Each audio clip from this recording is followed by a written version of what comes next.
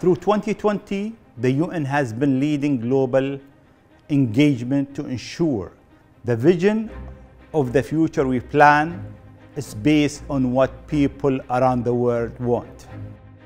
The Emirates is proud to partner with the UN for this important outreach effort. But the real work of implementing our vision for the future is only beginning now through youth engagement and by launching a joint report on future possibility. The United Nations continues to push for a massive rescue package for the world's most vulnerable people and countries and for a people's vaccine that is affordable and available to all. This is also a moment to strengthen multilateralism and global governance, which are crucial for building a safer, healthier, more sustainable, equitable and peaceful world for all.